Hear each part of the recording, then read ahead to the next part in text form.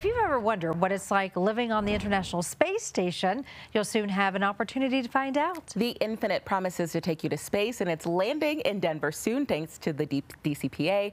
Our very own Dylan Thomas got the chance to travel to Canada and get a preview for us. Only a matter of hundreds of people have ever been to space, and a fraction of those have been to the space station. But luckily for us, the DCPA is bringing the space station to Colorado. For the first time ever, we're taking a step into the infinite. Earth.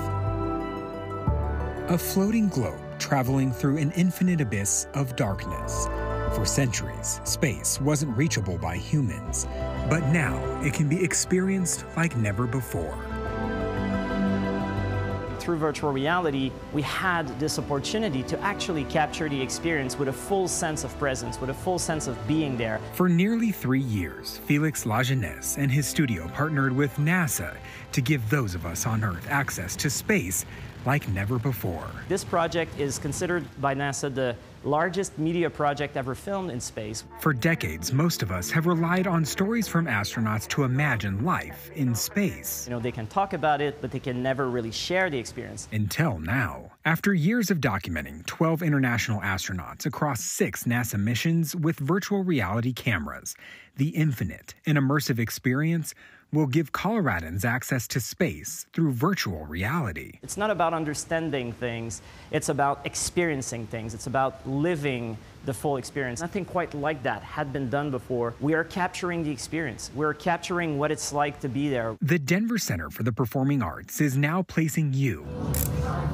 yes, you, in space. Your VR headset transfers you into space. It is now time to begin your journey.